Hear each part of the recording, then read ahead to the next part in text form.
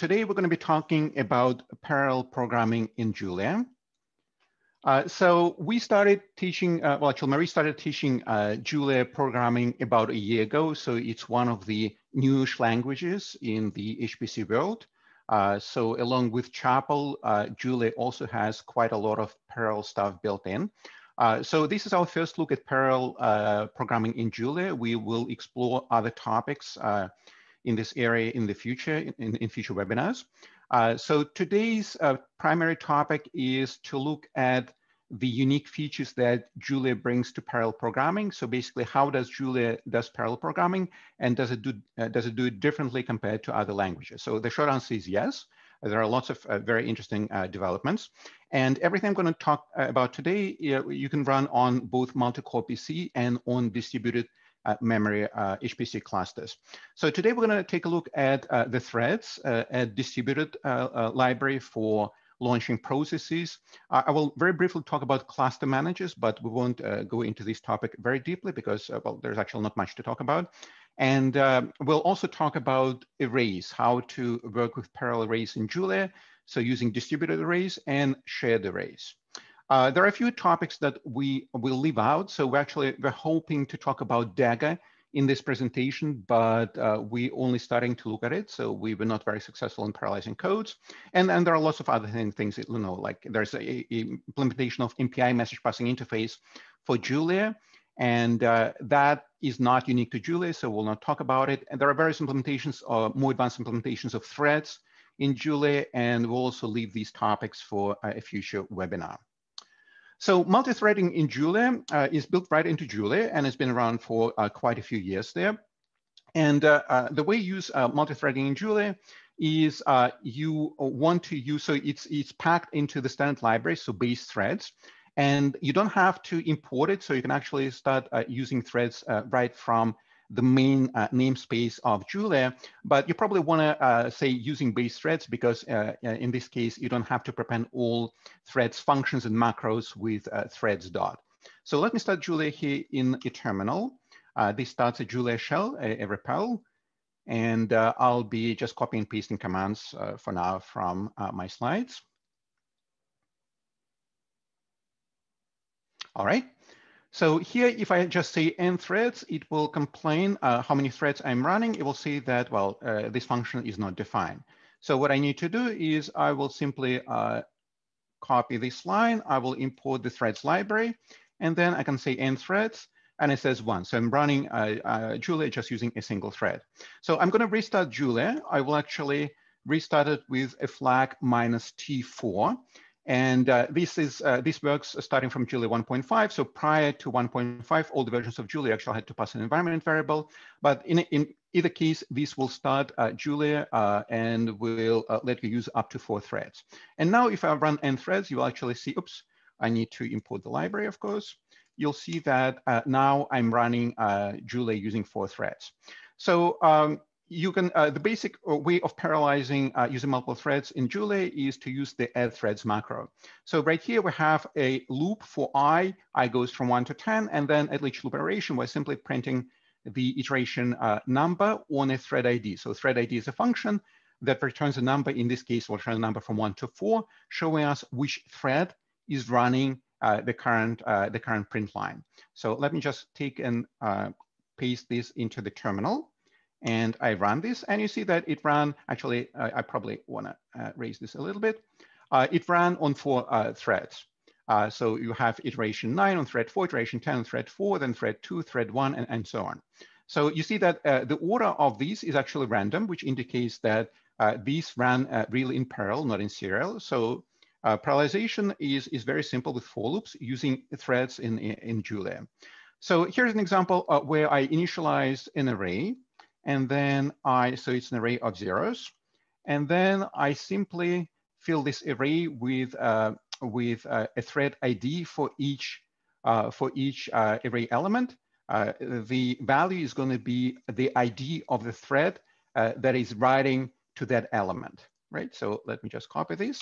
So A of I is the ID of the thread that is writing to this element. And then if I print A, you will see that I get the distribution. So there are 10, uh, there, are, there are 10 elements and there are four threads. So each thread does either two or three uh, loop iterations. So it makes sense. All right. Now, threads are well suited for shared memory data parallelism uh, without any reduction. So unfortunately, the threads implementation in Julia does not have any reduction. So what is a reduction? Well, if you do computation on multiple threads and then you wanna take the result of a computation on each thread and compute something based on that. For example, you're computing partial sums and you wanna compute the total sum. Julia actually does not have a mechanism, well, Julia threads does not have a mechanism for doing that style of reduction, uh, uh, reduction, unfortunately. So you can still, I will show you many examples of how you can actually do this, but unfortunately, this is not automatic with threads. So however, threads in Julia are really perfect for uh, doing shared memory data parallelism. So let's say if you have a data structure uh, that is uh, that is large, and then you are processing the data structure, let's say you're filling an array in parallel from multiple threads, uh, then you actually see perfect speed up.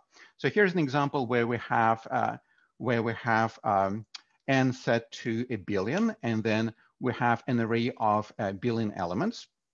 Uh, so zeros, all, uh, all zeros. And uh, yeah, I'm clearly running Zoom now, so it's much slower for me than usual. And then uh, here I simply fill in the elements and actually won't run this because this takes, uh, so I'm running, so here, if I were to paste this, uh, this will run in the global scope, so not inside the function, and this will actually be very slow. So, but if you were to run this, you will see that if I run this in serial, just filling all the elements, uh, elements computing the uh, uh, uh, log base 10, of i for each element, then it will actually take a couple of minutes. And then if I parallelize, take exactly the same code and I parallelize it, it will take uh, roughly four times uh, faster. So in this case, we are doing data parallelism. We're just filling a, uh, each element of the array and the entire array is divided into blocks and then each thread is processing each block. So threads are not communicating to each other. They're just talking to, well, they're just filling the array uh, values in shared memory, right? So everything is really easy and you get pretty much perfect speed up. Now, if you want to add reduction, so let's say you want to compute, uh, in this case, a sum of all integers from one to a million, uh, then you uh, are breaking your loop, your summation into pieces and then into blocks. And then each block is processed by uh, an individual thread. And then you're taking all these partial sums and then you are adding them to total sum. So a naive implementation would be to do something like this. So here you have total uh, is equal to zero. So this is done on the main uh, on the main thread. And then you're launching four threads. And in each thread, we are adding i to the same global variable, right? So we have uh, the loop, uh, the, uh, we have uh, a loop for i one to a million, and then we parallelize it with threads. So parallelization is automatic, it'll just work in, uh, with threads in Julia, and then we're computing total. So the problem with this code is that it's not thread safe because all threads are updating the same variable, uh, they can actually override a value without uh, letting, uh, without waiting for the other thread to finish, right? So threads are competing uh, writing into the same variable. And uh, sometimes, well, actually in many cases, uh, a thread will write into a variable without waiting for the other thread to finish. So this is a problem. And in fact, if you take this code and you run it multiple times, you will see that every time you run this code, you will get a different result. So every time, oops, I run this code, oops, I get a different result. So you see this number is different from this number and so on. So this program, uh, is not is not good. It's not thread safe and it uh, it's not deterministic. So every time you run it, you get a different result. So it's very easy to uh, make these uh, thread safe. So one way to do this would be to use an atomic variable.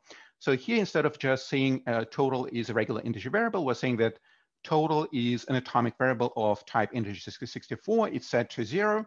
And an atomic variable is a variable to which all threads can run, can right, sorry, all threads can write, but they have to wait for other threads to finish writing. So if one thread started writing to a variable, it locks that variable, and then no other thread can write into this variable until uh, the first thread finishes, and then the variable is released, and then other threads can start writing. But the end result of this code, so the code works and it produces write results. So we can actually paste and we'll see the familiar sum of all integers from zero to, uh, to a million. So this number is going to be exactly the same every time you run this code.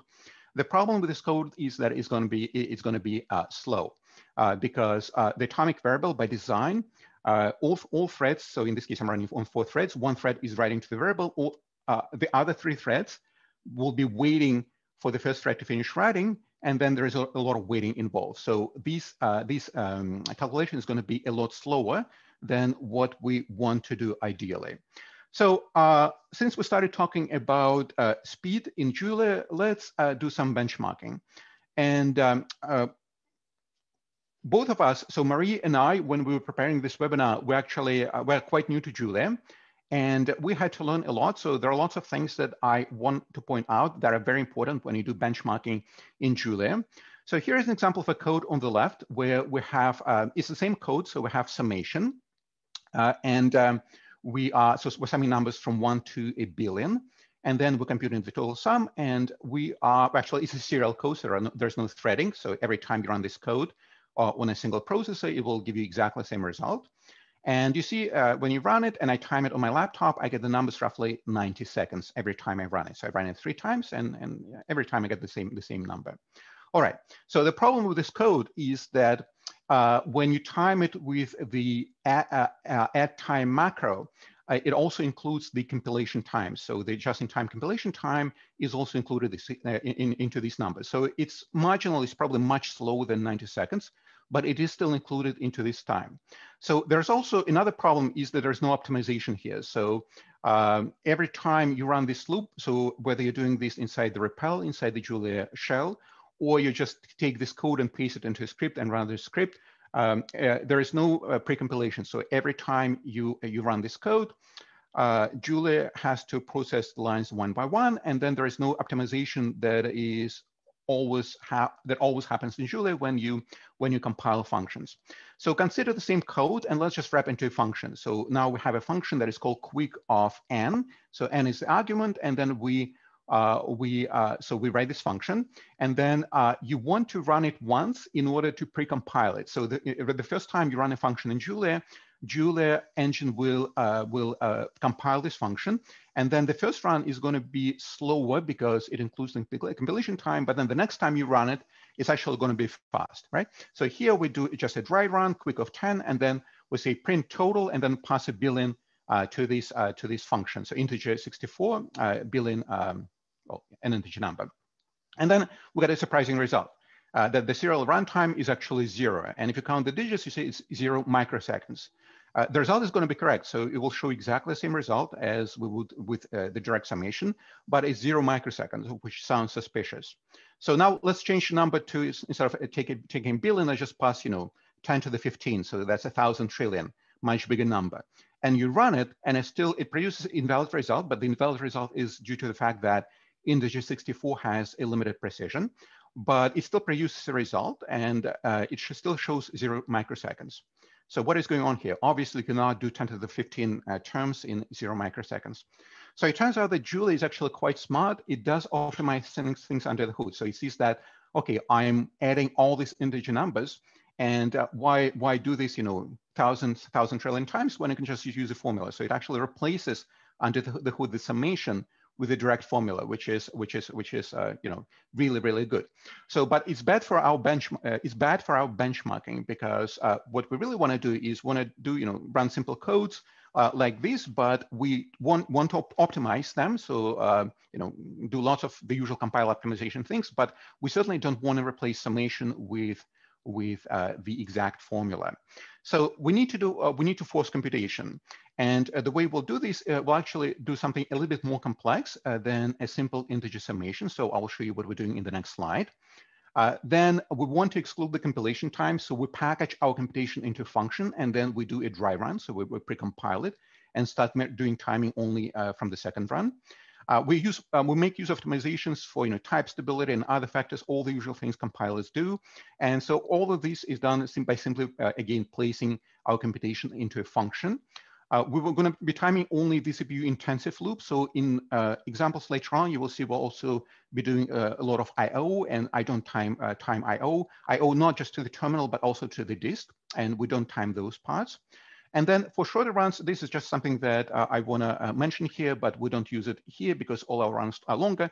So for shorter runs, uh, uh, uh run times, you probably want to use uh, benchmark tools. And btime will actually run your function multiple times and then compute the average, do statistics, et cetera, et cetera. So you don't, you don't want to use btime for macro for a longer run because, well, it's just a longer run, we can actually time fairly accurately, fairly accurately with time. So anyway, this is the function we're going to be, uh, the sum we're going to be uh, uh, running. So the traditional harmonic series actually diverges. So uh, this is a well-known fact from, you know, Math 101.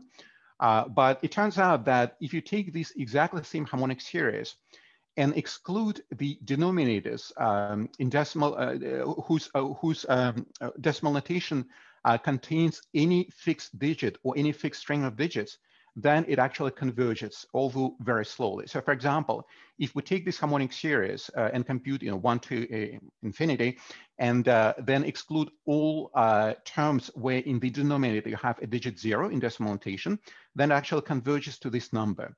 So if you have exclude, let's say exclude all even digits, you get another, another summation. So exclude more terms and the summation is gonna be uh, smaller. If you exclude, uh, exclude a certain string, for example, there is no string 314, uh, then you'll converge to another number and so on. So really interesting mathematical results. And but this convergence is uh, is very slow. So here's an example of uh, the error, logarithm of error versus logarithm of number of terms. And so if you expect the same uh, log, well, linear dependence in the log-log space, and I think it's valid for uh, pretty much uh, up, up to infinity, to the infinite number of terms. so it turns out that in order to compute uh, the sum with uh, no nines in the denominator, you actually have to, uh, so to compute it to two significant digits after the decimal point, you actually have to include 10 to the 73 terms. And if you want to compute it to eight significant digits after the decimal point, you actually need to compute, you know, more than uh, 10 to the 200 uh, terms, which is a huge number.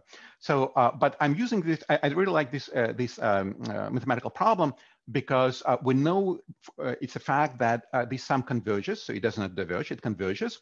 And uh, the more terms we take, the closer we'll get to this exact answer, right? All right. So uh, since we only want to include terms, sorry, excuse me, uh, since we, oops. Just give me a second. Yeah, my, my PDF viewer here, unfortunately, it doesn't let me use arrows, only the page up and page but, uh, down buttons. So um,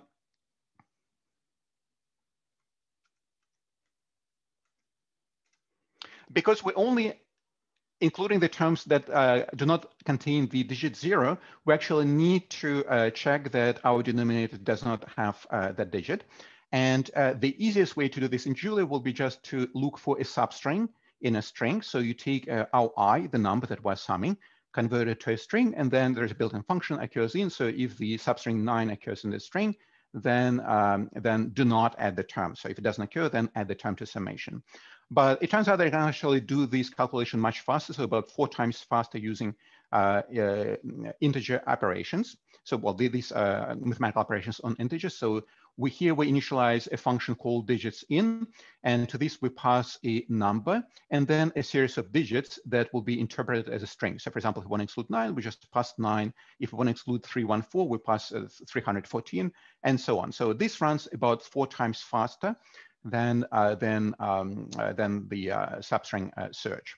And so thanks for, uh, to Paul Schrimpf from the Vancouver School of Economics for, for this function he pointed out that this is much faster than searching for a substring. All right, so let's switch to 10 to the 9 terms and uh, let's start doing our summation. So here we have um, the function uh, slow that takes in uh, the upper limit, so it's going to be a billion and then the digit. So uh, I'm passing in billion and then a digit. And then it simply says that if a digit is not in, uh, in this number, then, uh, then add the term to the summation. So otherwise don't add it and then print the total. So we do a, a dry run and then we do a total run. So you see the total answer is, uh, is smaller than 22 than our exact summation, but that's exactly uh, what, what we want. Uh, so if we do timing, so this is entirely serial calculation. So I uh, use the add time macro for the, uh, for, the, um, uh, for the loop. And then I do timing, you see that I get 21, 22 seconds. So I did three runs and, and I get uh, about the same consistent number. All right. So let's try to do, do, this using an atomic variable. So it's essentially the same code, except that uh, before I was using the uh, regular total, regular global variable, and now I use an atomic variable. So I initialize the atomic variable as a float64 uh, zero, and then all threads, so here I have threads, uh, this is a parallel loop using multiple threads, uh, and I'll be uh, running four threads. Um, uh, sorry, I'll be running this on four threads. Uh, I simply call the function, I, I, simply call digits in, and then I, so if, if digits is not an i, then I add that to the total sum. And when I run this on a single thread, then I get the numbers that are slightly worse than the previous uh, serial uh, example. And now if you run it on four threads, you'll see that I get, I get these runtimes which are better than the serial run, but they're certainly not a four times speed up, right? Not, not a fourfold speed up. So what is going on? Well, as I mentioned, uh, the atomic variables are not really, uh, are not really um, meant for, uh, they were not designed for this type of calculation where you do this, you know, billions of times and each thread is writing and writing millions and millions of times to, to the same atomic variable. They're really meant for synchronization. Uh, so what we, uh, why the uh, parallel codon for threads is not fast is because uh, most of the time the threads are waiting for other threads. Well, actually one of the threads that is currently writing to the atomic variable to finish that writing, right? So this code by design is slow. All right, are there any questions? I see there was, uh, there is, I didn't pay attention to the chat window. Uh, but okay, all right. no, no, no, it's uh, it's all good. Yeah, okay. yeah. Okay, excellent. So now, um, let's try an alternative thread safe implementation. So here I um, I initialize an array uh, of zeros, float 64, where if I run this on four threads, uh, this will, array will have four elements, right? So each thread is going to be writing into its own uh, array element. So total has four elements, and then we have four threads. Each thread is writing into its own array element. And so here we are using the same function, digits in, and then uh, we're writing to an element for, from a given thread, uh, element thread ID, right? So this is perfect, uh, perfect, you know, perfect synchronization. Threads don't talk to each other. They just fill in those four uh, local sums.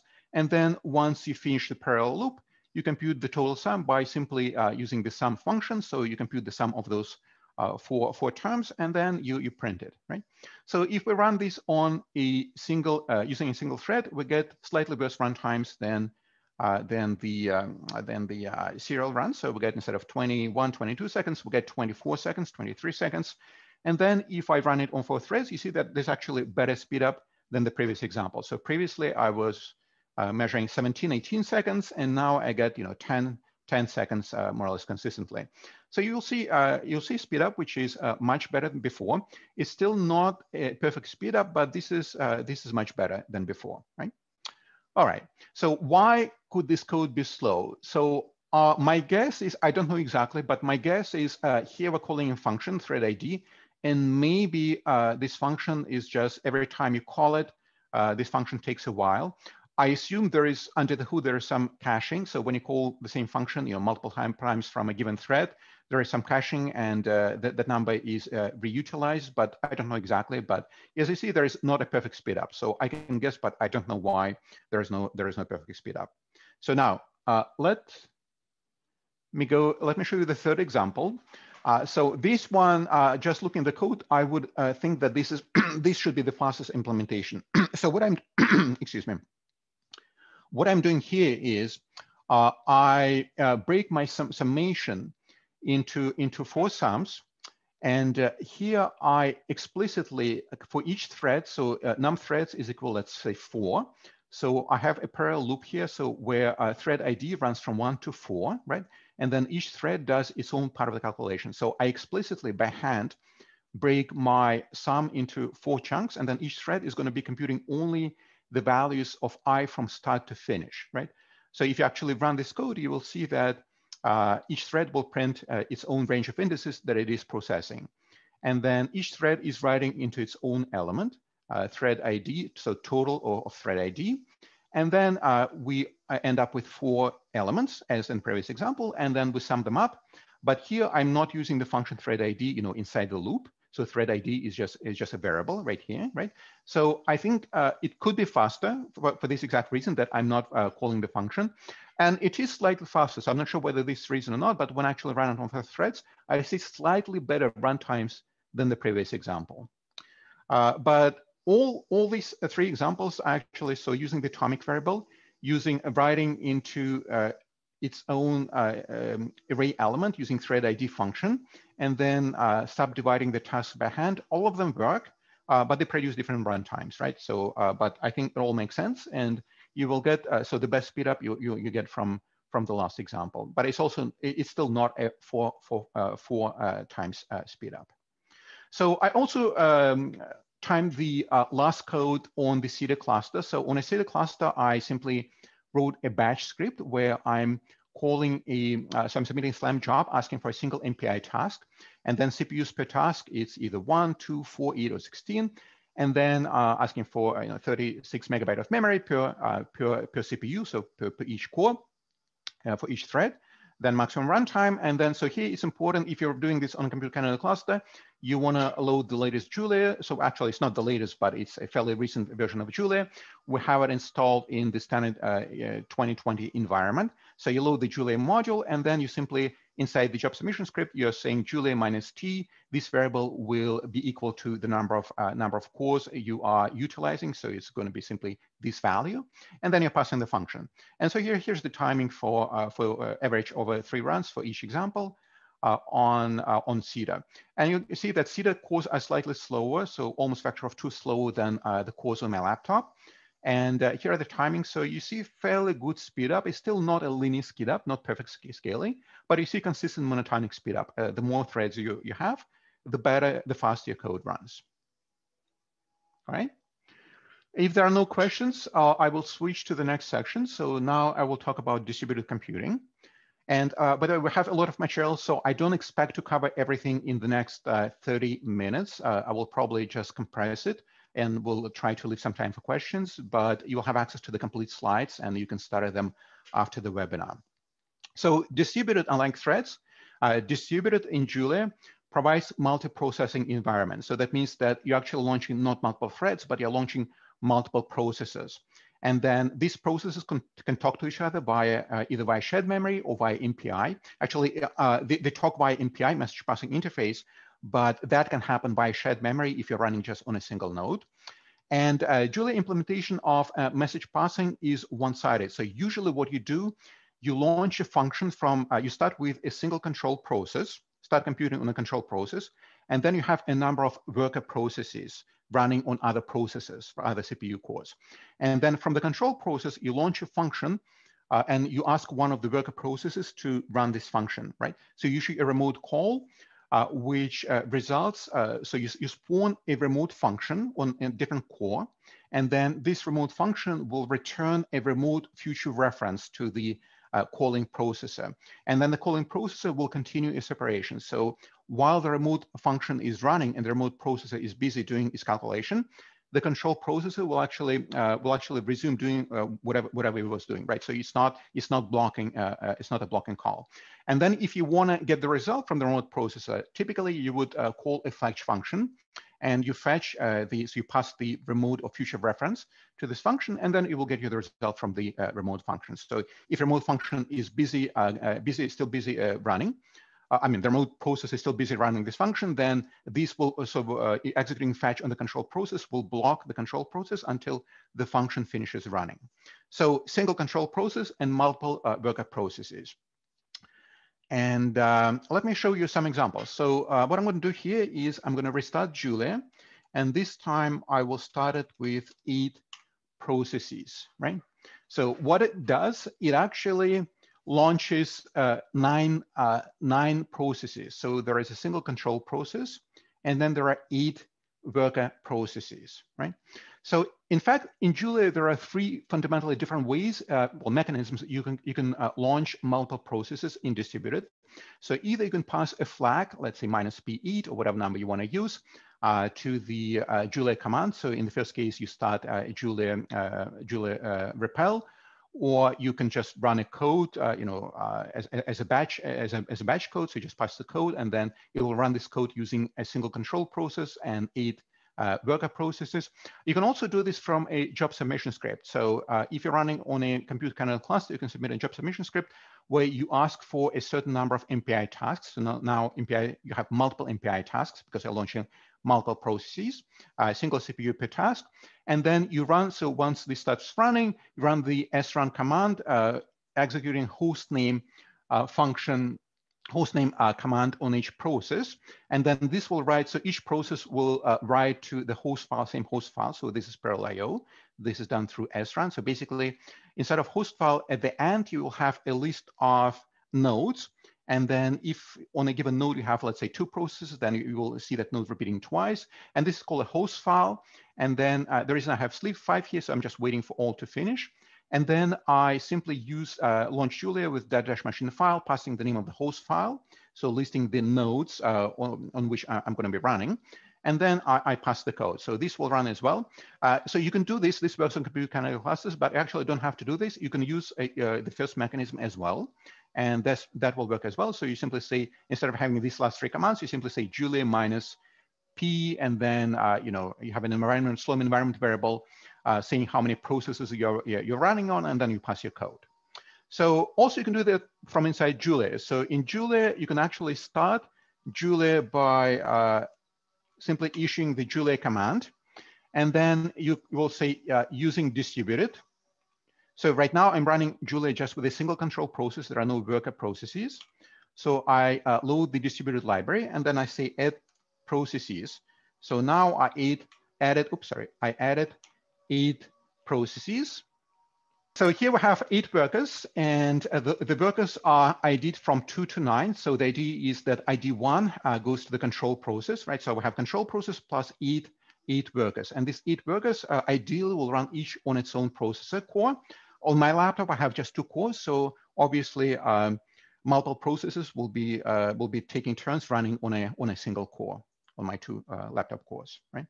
Anyway, so uh, you can use uh, all three methods uh, from a Compute Canada uh, on a Compute Canada cluster. I suggest to use, uh, you know, well, either one or, or, three doesn't matter, but you can also use the second method if you want. But all three methods uh, will work from on an HPC cluster. All right, so let's start Julia. Actually, let me restart Julia and as a single processor processor um, job, well, not job run. Uh, and then I will add four uh, worker processes to it. So, oops, of course, I need to say using distributed. Always forget doing this. And then we add four processes to it. And then we can uh, issue this line, so number of cores, and it will give us the total number of cores. And we'll see there are five cores. There is a control process, and then there are four additional processes. But of course, I have two physical cores on my laptop. So by course, it refers to processes, total number of processes, and then number of workers, it's four workers, right? So five processes, four workers. And I can actually list them, very convenient command, with the workers function.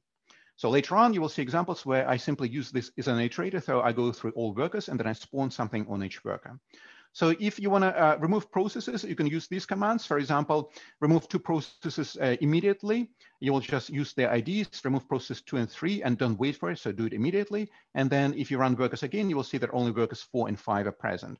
So here I'm organizing a loop where I shall go through all workers in the output of the workers function.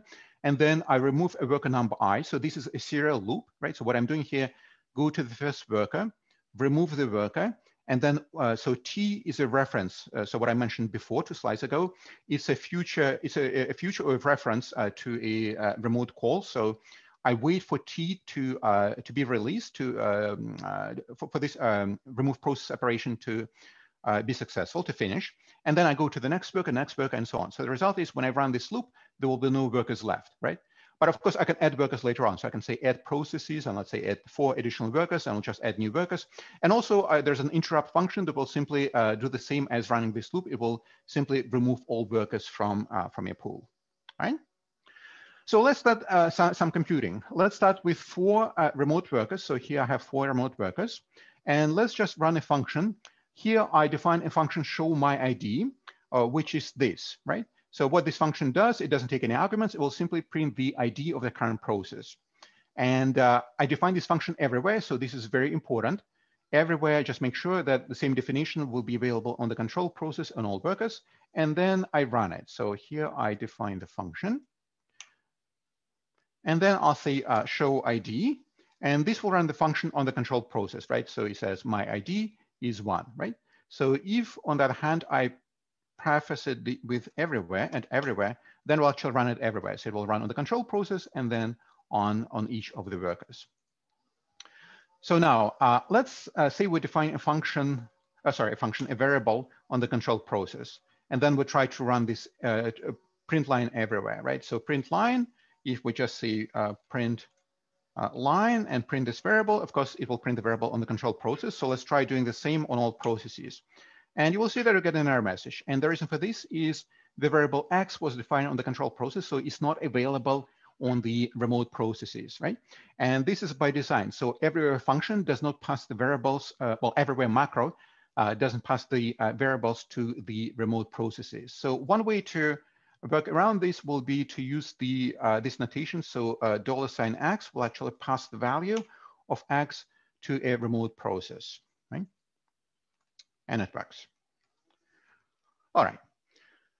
So let's initialize another uh, variable. Uh, let's say a equal to 12 on the control process, and then want to print this variable on, let's say, processor two. So I'm going to use a function spawn add.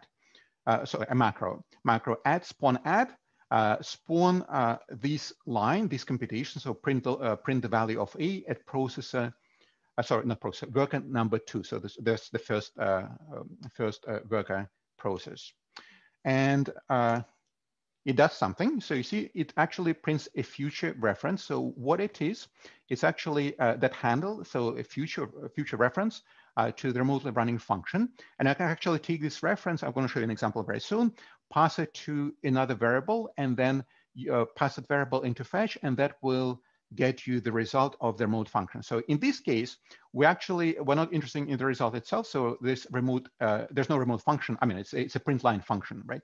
But it just prints into the terminal. So that's the reason why we already see the answer. So from worker two, the value of a is equal to 12, uh, we see the result in our terminal.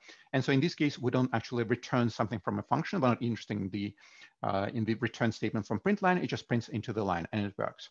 So what Spawn does here, it passes the uh, namespace of local variables to worker number two. So uh, the variable a is going to be available on worker number two.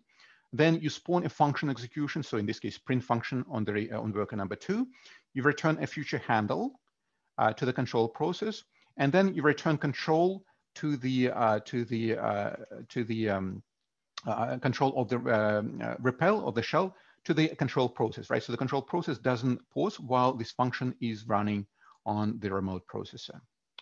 All right, so here's another example. Uh, let's say we have e equal to equal to 12 defined on the control process. And then we uh, spawn this calculation, uh, compute E plus 10 on process number two. And this will work, but it doesn't return the results. It returns a future reference. So how do you get the result? The result actually will not. So the result is was computed on processor number, worker number two, but it's not available to us. We don't see it in the terminal, right? So the control process doesn't know anything about it. So this is where you have to use the future reference. One of the ways to do this is you simply pass the output of the spawnat macro to a variable, a local variable, let's say call it R. Uh, then you can actually, uh, if you type, uh, if you um, uh, print its type, you will see that it's not a regular variable, it's a future uh, variable, so a future reference to remote execution. And then you simply, to get the result, you simply type a fetch of R and you get the answer. So it is, uh, yeah, it is uh, 22, so 12 plus 10. So now um, uh, you can actually take these two lines, so spawnat macro and the fetch function and put them into a single line. So you can say fetch off and then spawn at 2e plus 10 is going to be the argument. So you compute, you take uh, the calculation, send it to remote processor, and then in a single line, you, you fetch the result back. And also alternative syntax is fetch from, and so this also includes spawn, right? So if you just type this, this will do exactly the same thing. So it will spawn the e plus 10 calculation, the remote process, and then it will fetch uh, the answer, all right? Now, let's go back to the slow series. So here we have uh, the function, uh, this is the entire code.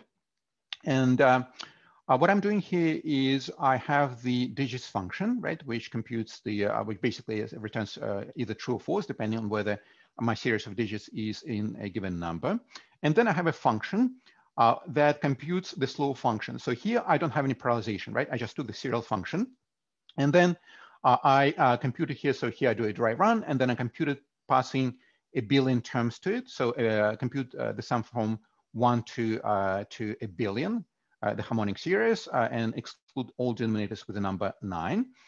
And then I time these, I time this three times, and you see that I get 25 seconds, 24 seconds, 26 seconds. Now, I run the same function using everywhere, right? And what happens here is that you're actually doing exactly the same computation, right? So you're running a serial code three times, but you're running the identical serial code three times. So uh, three times, if, uh, well, assuming that I have two worker processes, right? So in, in the shell, in this example, I had four worker processes. So assume that I have two worker processes and one control process. When you do something like this, uh, when you do add everywhere, it runs uh, a single, uh, the function on the control process, and then it runs exactly the same function on each of the two workers. And these are the numbers I get. So I get three numbers back. And then if I time this, the same calculation uh, just using my stopwatch, I see roughly three, 33, uh, 33 seconds. So it's interesting that these three calculations are running simultaneously and they take longer than a serial run, obviously. So I have two physical cores and then I have three calculations. So it, what is interesting here is that it actually doesn't take twice as long, right? So you would assume that you have two physical cores and you have three three instances uh, of a function running on two physical cores, you would actually it would actually take you know twice as long because uh, well because you can't fit you know uh, three functions into into into a single batch at the same time. But it turns out that it doesn't take twice as long, and I'm not sure exactly what is happening here. So I tried searching online, but I don't know whether this is the effect of hyperthreading, so using four logical cores on two physical cores, or this is just Julia being smart and uh, launching these, uh, passing the uh, one of the functions around to an idle processor. So I'm not sure exactly. Uh, but it works. Uh, but the problem here is it's a serial code. It's still a serial code, right? So if for fun, if I just try to oops, uh, run the same using um, four workers on two physical cores, anybody can guess what will happen? So I have two physical cores and I add two processes for the total of four workers and I, I run everywhere. What will happen? So actually what happens here is it will take twice as long. So it will take roughly a minute to compute, uh, to compute this, uh, to do this computation. Anyway, so let's try to parallelize our uh, slow series. Uh, so to parallelize it, uh, what I'm doing is I, um, let's see,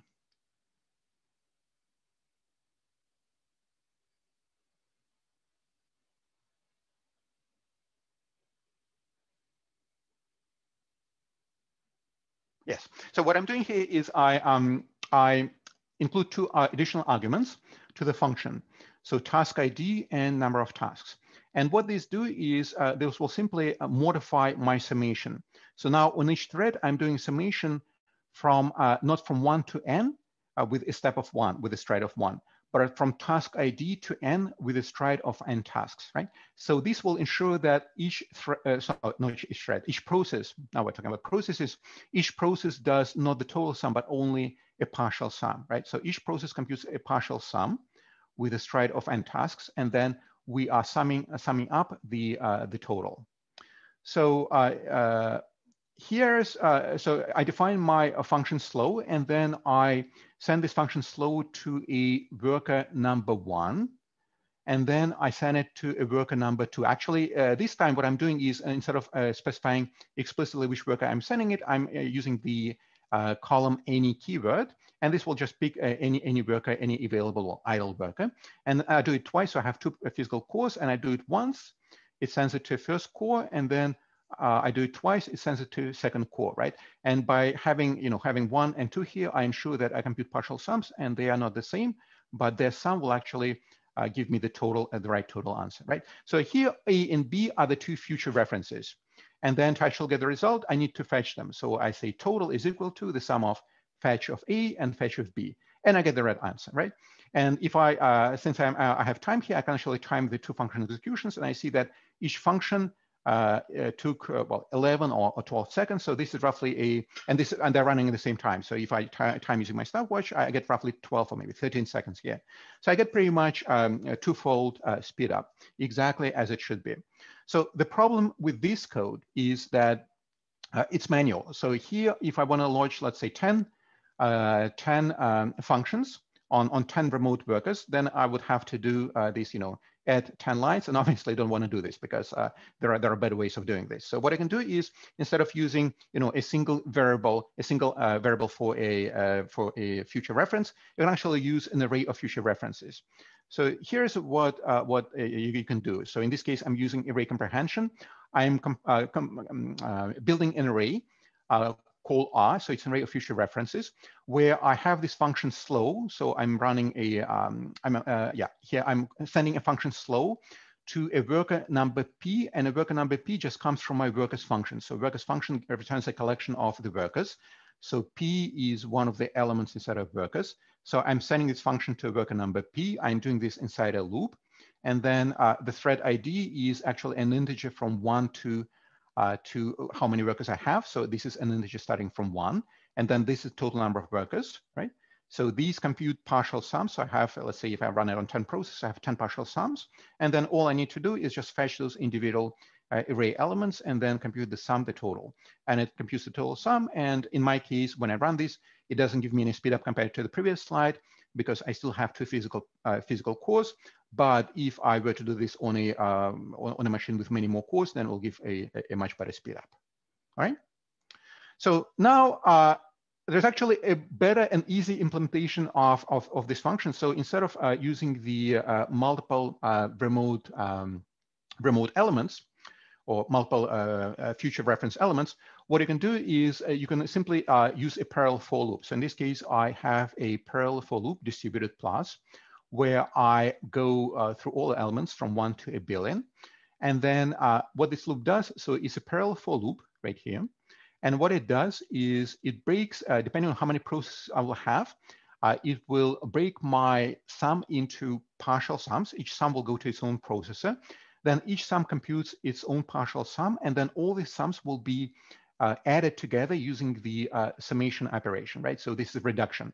It's a distributed operation with reduction and reduction is the summation operation. So, and this syntax is simply saying that uh, inside this function, uh, what I need to, I need to have a statement. The last statement in this function, not a print statement, but actual uh, numerical statement is going to be a number that is going to be added to the sum to the partial sum. So depending on whether my uh, digits, my collection of digits appears in I or not, I will add uh, one or uh, sorry, one divided by i, or I will add zero, right? And then so this uh, this is actually a parallel loop. And then when you run it, uh, you will see there is a speed up. So I run it into physical cores, I get the same number. Uh, so uh, 14 point something, and then I get roughly a well 2 point you know 2.4 2.3 fold speed up, which is great. All right. So here, how I would run this function, uh, the, the, code from the previous slide on CEDAR. So in this case, I'm launching a, uh, so I want to launch multiple processes, right? Uh, so I'm going to be using uh, a dash dash n tasks to uh, to show uh, to, to, schedule multiple processes. So number of MPI tasks, CPUs per task is going to be one. so this is important if I want to control how many, how many nodes I want to use. So whether I want all these tasks to run on the same node or across different nodes. And you will see in a second why this is important. And then I basically load the Julia environment. And then here I print the list of nodes on which uh, my code is running. And then I'll launch my code. So Julia minus P, launch multiple processes. How many processes? Well, this returned by Slurm number of tasks, number of MPI tasks inside my job. And then I launch the code from the previous example. So now let's go to timing. If I run uh, this code as serial, so now instead of 24 seconds or so, it's 48 seconds. So uh, a single core on CEDAR is roughly two times slower than my a single core on my laptop. Running on two cores, I give you uh, uh not two-fold uh, speed up, but it gives you some speed up. So my guess is probably at the time when I was running this, uh, and again, this average over three rounds, uh, that core was either busy or the network was busy, or you know, it could be any number of reasons. But uh, it gave me a little bit uh, of speed up. Then I run on four cores. I get almost four-fold speed up. So you see here is perfect scaling. And then I keep decreasing, I keep increasing the number of cores, and then I get better and better runtime. So if I use all cores on the same node, I, my runtime goes from 48 seconds to two seconds. So I get, you know, I get really, really good speed up. So not factor of 20, not factor of 32, but still fairly, fairly uh, good, uh, good number. So factor of 24, I guess. But then if I uh, modify my submission script and I ask this code and run this code on multiple nodes, my runtime gets much worse, right? So now I go from 32 cores, now I go from two seconds to 11 seconds. And the reason for this is because now, instead of using shared memory to exchange messages, these different processes will use the network. And the network, you know, is slower than shared memory. And uh, uh other people can be running codes, you know, saturating the, the bandwidth of the network at the same time. And uh, this is why it is much slower when spread across multiple, uh, multiple processes, or uh, multiple nodes, sorry. Any questions at this point? So the third solution would be uh, to use PMAP to map arguments to processes.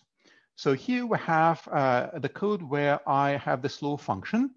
And uh, the slow function, I'm also computing the partial sum. So the partial sum goes on each, on each process, goes from task ID to n with a stride equal to number of tasks, right? So each, each process computing a partial sum. so this time I, I also pass four uh, numbers as arguments, but I do this inside a tuple. So uh, actually I pass a single argument, which is a tuple, and it's a collection of four, four numbers, right? And the reason I do a tuple is a tuple is because I will be using PMAP uh, to map arguments to processes. So here I run it a single time, so a dry run. And then uh, N NW is the number of workers, right? And then I uh, use the array comprehension to build an array of tuples. So there are as many tuples as the number of workers, remote workers. And then each tuple will contain four numbers. So the, uh, the uh, limit of summation, uh, the, um, the, the digit that I want to exclude, exclude the, um, uh, the uh, task ID, and then the total number of workers, right? So if you were to run this, you'll actually see that this uh, builds an array of, of tuples. And then what I'm doing is I'm simply calling, calling pmap, passing to pmap the function that I'm going to be sending to each worker, and then the argument. So what pmap does, it takes this function and it runs this function on each of the remote workers using the uh, respective element from the arguments array, right? So on each on each remote worker, it will use different values for the uh, for the summation, um, well, um, uh, for the uh, for the partial sums, and then I compute the total, and then uh, the total is going to be printed. So the total sum, and then then I print it. So there's also, and this works really well. Uh, so there's also alternative syntax for for PMAP. I can actually specify the function right here uh, with uh, using this syntax and then uh, pass the arguments, so the same array of, of tuples. And I didn't include the summation, oh, sorry, I didn't include the timing, but the timing is as good as, as the previous timing, so with the previous example. Now, optional integration with Slurm. So here, all I wanted to say is that um, yeah, there, there's a cluster managers package in Julia. And what it does is, uh, let me just click on this link. It simply lets you include the um, uh, the salloc or SBatch parts of uh, launching a job right inside your Julia script. So this integrates with many uh, many uh, different schedules. We use Slurm on Compute Canada clusters. And what it does, basically, you build a single, there's no job submission script, you build a single um, um, Julia code. And from inside this Julia code, you launch your uh, you launch your uh, Slurm job, and from that Slurm job, you're launching your actual uh, calculation. Uh, so this is convenient, uh, but actually, in my case, it's, it's not really convenient, but it's certainly not a necessity. So that's why I don't want to spend any time in clusters managers. You don't have to use clusters managers, uh, contrary to what the multiple Julia forums will will let you know. So actually, we discourage you from using cluster managers because it will it can cause problems it will you, it, it should work, but it might cause problems in some cases. And so what we really want you to do is just write a just regular Slurm job submission script, and then from the job submission script, uh, you uh, launch your launch your uh, well call your Julia uh, code. All right, so we have almost no time left, unfortunately, and there are some cool examples. So uh, what I'm going to do is I think we'll probably want to schedule a second webinar, and then in the second webinar, we'll go through these examples. Uh, but you have this access to the slides now. So if you're interested, you can just study them on your own. So here I'm talking about distributed arrays and shared arrays. So distributed arrays is a method in Julia to split an array physically across multiple processes, whether on the same node or on multiple nodes. And this is uh, important if you have a very large array that doesn't fit on into memory or let's say on a single node, and then you can actually spread it across processes on multiple nodes, right? And then you can do also parallel calculation, whether on the same node or different nodes. You can do parallel calculations on, uh, on this distributed processor. And so here we have a, a code to compute Julia set, uh, which is uh, which uh, produces something like this. And then I show you actually uh, the parallelization of this code. And then uh, I uh, do some really nice demos, but unfortunately I don't have any time because we only have three minutes before the hour and I don't really want to spill this into the next hour.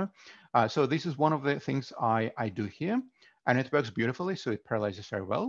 And the second thing is shared arrays. So shared arrays is, um, is part of the uh, Julia standard library. So it comes with uh, the language when I install it.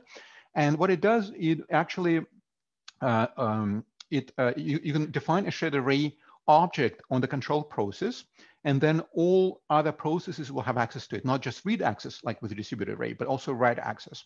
And in practice, what happens, the entire array is stored on the control process, but there is a significant cache on each worker as well, because each worker wants to work with that, uh, with that uh, uh, shared array stored on the control process. And so the second example I have is the n-body problem. And so what the n-body problem does is, so here I have the entire n-body code. And what it does is, um, it's actually, it took us some time to write this code because it's writing n-body codes is not easy. Uh, so there are, there are lots of examples. The problem with uh, simple examples is they produce uh, results that are not accurate. Uh, so when you do, when you write an n-body code is you really want to uh, use adaptive time steps to make sure that uh, your, your, um, your solution is stable. So if you want to check whether a solution is stable or not, simply run it with you know a time step that is twice as short and then see whether the result diverges or not. But basically, you know, uh, there are all these things, uh, ideas that go into this code. And uh, I just want to show you the solution. So if you run this code with two particles, oh, let's launch this on different screen. Uh, with two particles, uh, so the idea is that you take a unit cube and then you throw n particle, n identical particles in, randomly into this cube, and then you turn on gravity. So zero initial velocity, uh, velocities, and then you turn on gravity, and then particles will will start well, attracting to each other. And then what happens with two particles, because they're infinitely small, they will just fly through each other and then they will keep oscillating infinitely, right? So that's what happens with two particles. And in your n-body code, if you don't get infinite oscillations with the same amplitude, that means that you're not computing it accurately. So this is actually a very tough problem to, you know, tough solution to reproduce. So if you do it with 20 bodies, uh, you uh, will have something like this. So here's a solution with 20 bodies and um, uh, it's the solution is stable. So I check this. And um, and uh, uh, I'm doing, I'm using, so for each particle, I'm computing the force as a sum over all other particles. So it's an n squared calculation as opposed as a tree algorithm, right? So an n squared calculation obviously doesn't scale very well. So it scales as n squared. And if n is very large, then, uh, then it becomes uh, very slow. So this code does, uh, oops, sorry, uh, where's my code? So this code does the entire calculation, and then it stores the result as a series of PNG images that you can merge into a movie. And then I use shared arrays to parallelize this code. So why I use shared arrays? Well, the reason is because there is no large data structure, unlike in the previous example. Uh, there's, there are lots of small, there are a few small arrays, but because they're small, I can actually afford to have a large fraction of each array on each individual processor, so multiple copies of the same uh, array. And uh, this works very well on uh, both on, uh, on a laptop and on a cluster. Does not use a lot of memory. Uh, and then uh, the advantage of shared arrays versus versus distributed arrays is they are simpler to use, they're simpler to write to from, from uh, individual uh, processes, from uh, worker processes. And then uh, I have a parallel code that can actually work faster. So here's benchmarking for that code on my laptop and on the Cedar cluster. And I get I get reasonable scaling on, on the Cedar cluster. Not perfect scaling, but reasonable scaling. And as you notice, as I increase the number of processes, actually stalls. And in fact, it doesn't compute any faster than 32 cores as opposed to 16 cores. And uh, the reason, there are multiple reasons for this, but the reason is because your N is very small. So you're doing quite a lot of communication as opposed to computation and uh, your code just stalls, parallel scaling stalls. But if you wanna get better parallel scaling with this code, basically increase the number of particles. So I will stop here. Uh, lots of things that I didn't cover, but I feel like we should probably have a second webinar to cover the, you know, the second part of the slides in detail. And so talked about multi-threading, multi-processing in detail, did not have time to cover distributed arrays and shared arrays. And uh, yeah, a couple of useful uh, resource links that I uh, that I um, used while preparing for this webinar. So actually, my colleague uh, Baolai, uh, Baolai uh, gave from SHARCNET a few months ago. He gave a webinar on Parallel Julia that has a lot of. Uh, he covered a very similar uh, material, uh, different examples. And if you find that my webinar is not well, was not very useful, then you can watch a Baolai's webinar and and see another take on on the same concepts. And uh, another useful resource is Julia at Scale forum, which contains uh, you know lots of conversations on how to run Julia on HPC clusters and for big problems and, and so on. So on this note, I will stop. And uh, if you have any questions, feel free to unmute yourself or ask them in the chat.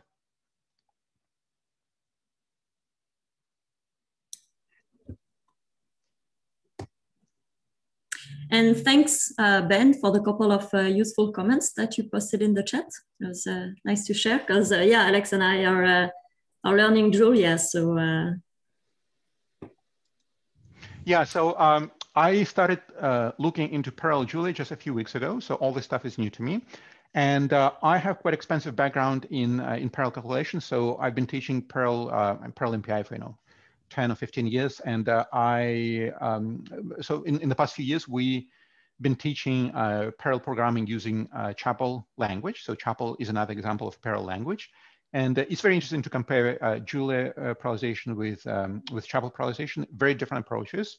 And so in Chapel, it's more, um, it's easy to use and it's more powerful in Chapel than I would say in Julia, but Julia is, is probably catching up, although it can do exactly what, what Chapel can do, I mean, as, as well, but it's, it's catching up, I would say.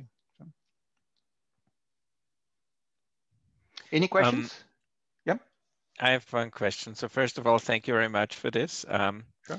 So do you recommend more uh, the worker approach uh, with multiple workers or using threads? That's my first question. Oh, it depends. Yeah, so let me answer this. It depends on what you're doing. So if you're doing, and it depends on, on your problem, right? So if your problem takes, let's say, it takes a year to compute in serial, a very large problem, uh, then you probably want to use multiple processes because with processes, you can scale beyond single node, right? Because it's a very large problem. And, you know, if you throw, let's say, 32 or 24 cores on this problem take, it will still take you know a month or half a month to compute, right? So a very large problem. So with uh, threads, you're always limited in scaling to a single node, right? By definition, because all threads talk to the same, uh, I mean, it's multiple cores on the same physical machine that talk to shared memory, right? Whereas processes can be anywhere. They can be on the same node or on multiple nodes. So with processes, you basically will have much better, much better scaling for bigger problems.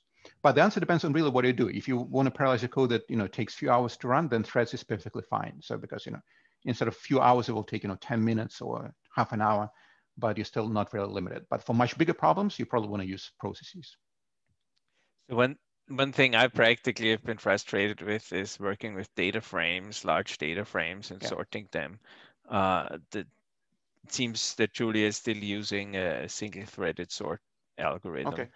Um, so do you have any heard anything about this going forward I, or any alternatives or, or any way I have not, better? so I don't know uh, the answer because I have not looked into data frames for Julia at all. So I just don't know, unfortunately. Um, I'm not sure whether this will be very relevant or not, but there is also Julia DB for very large database and it's based on Dagger.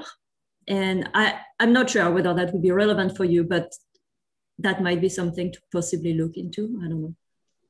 It, it's built on Dagger, which is a, a Julia equivalent of Dask. I've heard about it. I've not looked into it yet, but thank you. Yeah, it looks. Yeah, good. we'll probably we'll probably do a webinar on Dagger in the fall or yeah next year. So yeah, we're looking into it as well. So uh, Alex, uh, thank you very much. Uh, one quick question. So do you compare uh, this parallelization with MPI in C or C++ or other compiled mm -hmm. languages? What, what is your impression? Oh, it's uh, you should get very similar speed up. So it's the same. It's the same idea. So underneath, if you're using distributed, you're running uh, using multiple processes, right? So effectively, it's the same as MPI. So uh, it is easier. So what I showed you today, distributed, is easier than MPI because all you're doing is just uh, you're launching a remote function. So you don't sending you don't send uh, variables explicitly. So in terms of performance, it should be very similar to MPI. In terms of ease of use, it's much easier than MPI, mm -hmm. right? So does this answer your question? Yeah, yeah, thank you. Yeah, underneath it uses MPI, so it should be still as fast pretty much. All right, thank you.